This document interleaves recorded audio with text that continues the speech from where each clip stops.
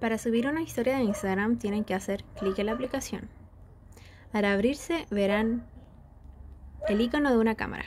Hacen clic allí.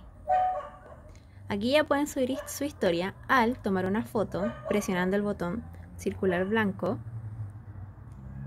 También pueden hacer un video manteniendo ese mismo botón apretado. O bien pueden subir una historia desde su galería. Hacen clic en ese icono. Y ya está. Tienen todas sus fotos y videos. Ustedes eligen la que más les gusta y le dan a enviar a. En tu historia ponen compartir y listo. Ahí ven cómo se carga su historia.